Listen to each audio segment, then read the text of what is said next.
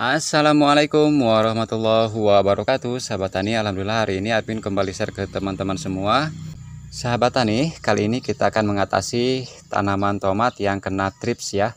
Sekaligus kita akan melakukan pemupukan tanaman tomat ini Tapi dengan aplikasi spray ya. Ini sudah satu minggu setelah tanam sahabat ya.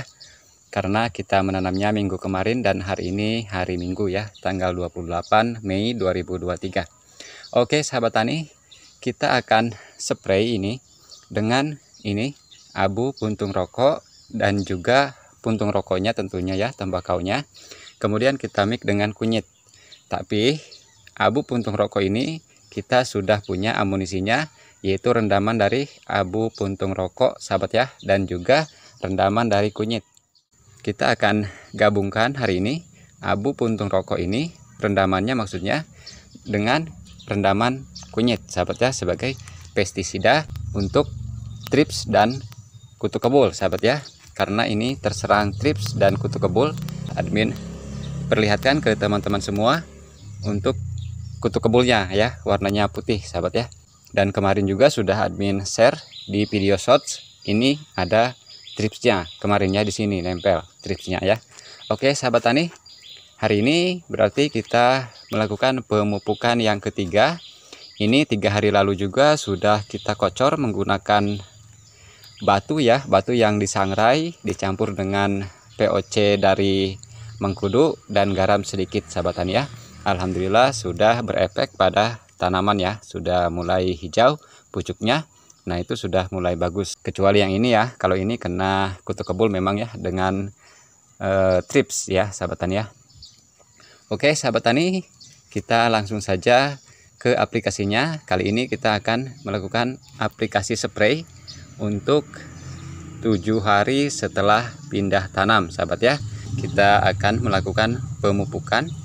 Satu kali setelah pupuk dasar dua kali setelah tiga hari yang lalu dan yang ketiga hari ini yaitu kita melakukan pemupukan dengan aplikasi spray sahabat ya. Oke sahabat tani kita langsung saja ke proses penyepraiannya oke sahabat tani kita langsung melakukan penyepraian ini untuk pestisida dari puntung rokok ini sahabat ya. Sudah ada di botol seperti ini. Ini udah direndam beberapa hari sahabat ya. Kemudian kita juga menggunakan ini. Ini juga disebut POC kunyit tapi ini juga sebagai pestisida sahabat ya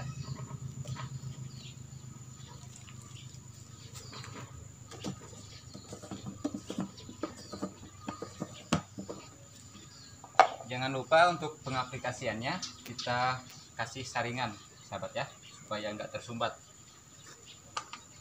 Untuk ininya puntung rokoknya kita kasih setengah gelas sahabat.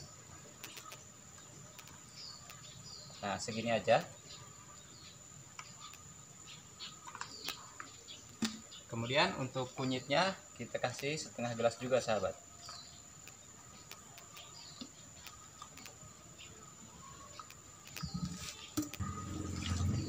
kita tinggal masukkan airnya sahabat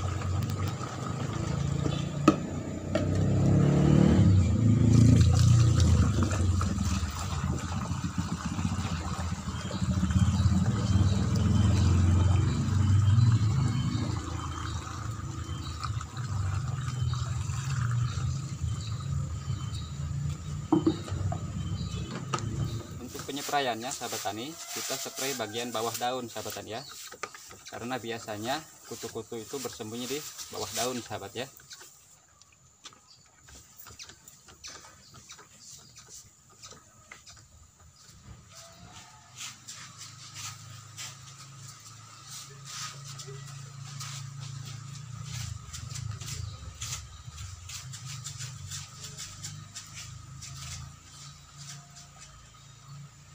Oke sahabat tani terima kasih sudah menyaksikan video ini. Semoga video ini bermanfaat. Jangan lupa saksikan terus perkembangannya. Tanaman tomat full organik sahabat ya. Terima kasih sudah menyaksikan